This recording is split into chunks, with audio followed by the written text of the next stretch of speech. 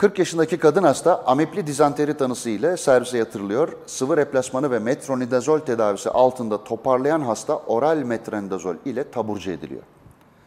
Amipli dizanteri. Dizanteri de işte entemoeba histolitika. Evet metronidazol verilir. Yalnız işte kuvvetle beklediğim bir soru bu. Bu hastaya tedavi açısından mutlaka yapılması gereken ek öneri aşağıdakilerden hangisidir? Bir hafta sonra gayta antijen testi kontrolü. Hayır. Bir hafta sonra gayta direkt incelemesinde trofozoid araştırılması. Klinik olarak bakıyorsun. Düzeldiyse bir daha gaytada maytada bir şey bakmaya gerek yok. Üç hafta sonra taşıyıcılık açısından gayta direkt inceleme. Ha bu hastada taşıyıcılık gelişecek işte onun için bir şey yapacaksın da gaytaya bakmayacaksın. En önemli nokta şu ki işte beklediğim soru bu. Metronidazol vereceksin hastaya. 7 gün, 10 gün neyse. Sonra paramomisin işte bu taşıyıcılık gelişme riski yüksek olduğu için hani rutin taşıyıcı kaldı mı kalmadı mı diye bakmaya gerek yok. Şimdi metronidazol trofozoitleri tedavi eder. Paramomisin de kistleri öldürür. Dolayısıyla metronidazol verdiğiniz zaman siz sadece trofozoitleri öldürüyorsunuz, kistleri öldürmüyorsunuz. Hasta çoğu zaman taşıyıcı pozisyonuna geçiyor ve bakteri başkalarına da saçabiliyor etkeni. Dolayısıyla hep günlük pratikte de eksik kalan bir şeydir. Entemoeba histolitika amipli dizanteride evet metronidazol ver ama arkasından e, metronidazol verdikten sonra 10 gün 7 gün paramomisin vereceğiz. 7 gün paramomisin. Metronidazol tedavisinin 21 güne tamamlanması diyor. Hayır böyle bir şey değil. 7-10 gün verdik diyelim.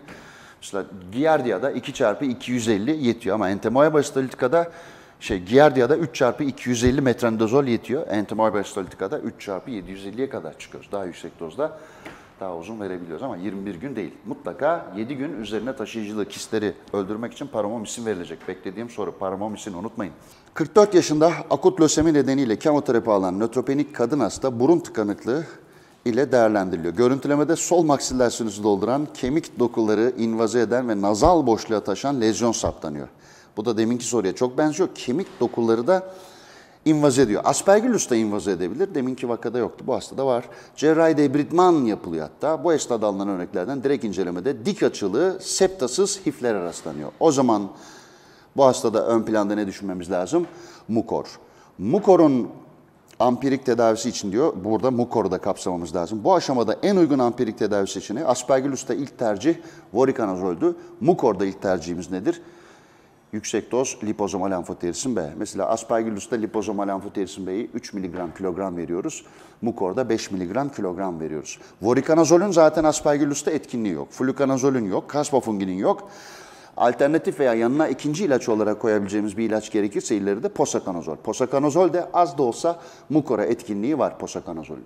Yukarıdaki enfeksiyöz etkenlerden hangileri için hastane yatışında solunum izolasyonu gereklidir? Artık bunları ezberlemişsinizdir. Kaçıncı baskı oluyor? Mikobakterium tüberkülozis, su çiçeği, başka kızamık. Bak Nigeria'da bile cerrahi maske. Nigeria gonorrea, Nigeria menenjiti var. Cerrahi maske. İnfluenza'da cerrahi maske. E Covid'de de cerrahi maske standart hasta odasında ama yoğun bakımda veya aerosolizasyon oluşturan bir işlem yapılıyorsa tabii ki Orada da N95. Bazı enfeksiyon kontrol önlemleri diyor. Solunum izolasyonu işte 5 mikrondan küçük partiküllerin solunması, e, solunmasının engellenmesi amaçlanır ve N95 maske kullanılması önerilir. Tüberküloz, kızamık, su çiçeği.